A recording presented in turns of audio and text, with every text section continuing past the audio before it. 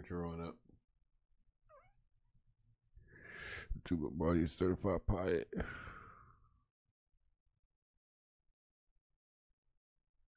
Um, finishing one of my uh, what it do? Afternoon splits. Getting ready to twist up this Dutch Irish fusion shit.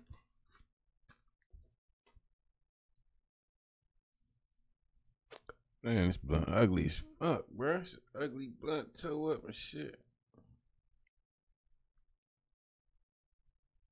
We gonna make it work. Let's jump. Let's jump into the video, man.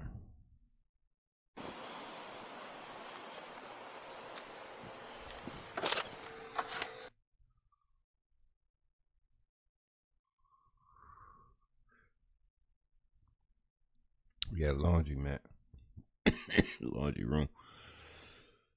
This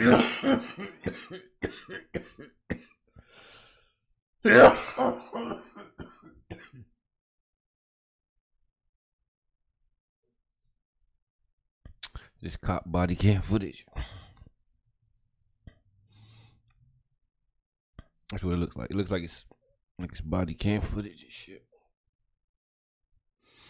All these houses back here look like it's probably an apartment apartment complex or some shit. Maybe maybe maybe even a hotel or some type of resort or some shit. Um mm.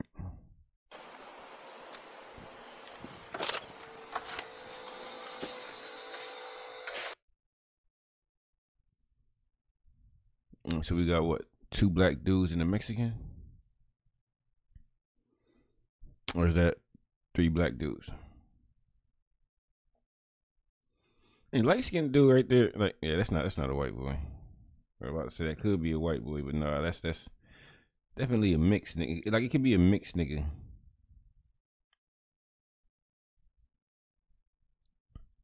I think he might be a Mexican. So, No, that's a nigga. what apartment is that? What's the apartment number? Right here. You don't know it off your head, man? I don't know my head. That. What's it? What he said? Do? Huh?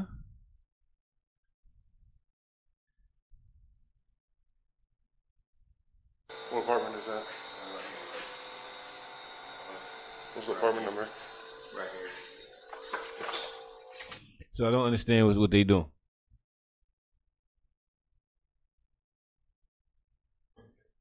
I mean, he just asked nigga where the uh, which apartment he in. Dude just stepped off. Like I don't know what the hell you talking about, my dude. You don't know it off your head, man? I don't know my head. That right there. Well, I don't care about the weed. Y'all live here? He oh. lives here? Business? All right. So then, what's the issue? If you know what I mean, the weed ain't the issue. Where they at? All right. So so so. What they ain't allowed? They ain't allowed to visit a nigga. Like why? Why are you all up in their business? All right, man. Well, I'm security, so you ain't going to jail or nothing. You just can't be smoking in here. Got it. Got it. All right, sir. Thank you. Thank you. Okay, so that's the only issue. The only issue was that they was smoking in the laundry room. Oh, you know what? Let's let's do it, bro. Why why was they smoking in there, bro? Why was they smoking in there? Like there, there was like. All right, so your niggas is waiting on on your clothes and shit. All right, all right, I can I can, I can get that, but yeah, y'all niggas could step right out by the door, bro. It's not. He said he said it wasn't a big deal. That y'all must be somewhere recreational and smooth.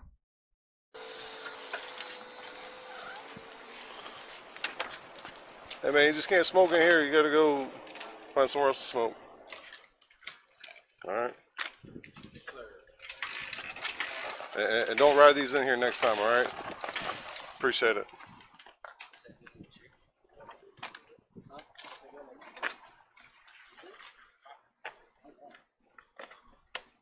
That was like that was a kind of smooth interaction, bro.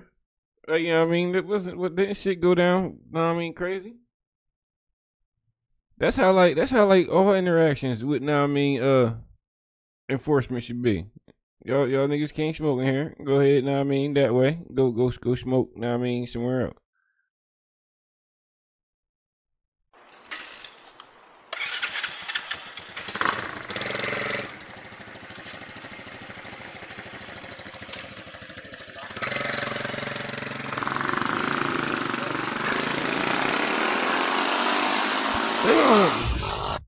loud ass four wheelers.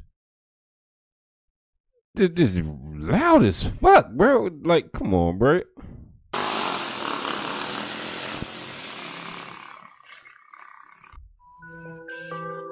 That shit was just loud for for no fucking reason. Loud for no fucking reason at all, bro. But you know, what I mean, that was that was that was a decent, smooth little interaction. I mean, the dude, the dude, if he wanted to, I guess he could have called police since they was they looked like they was underage, even if there is, now I'm saying, somewhere recreation. But he didn't, bro. He said, I mean, just go go do your thing somewhere else, bro. That's that was dope, bro. Yeah, I, I liked it that, bro. That that's how that's how police interactions with weed smokers should be, bro. Simple and cordial, bro.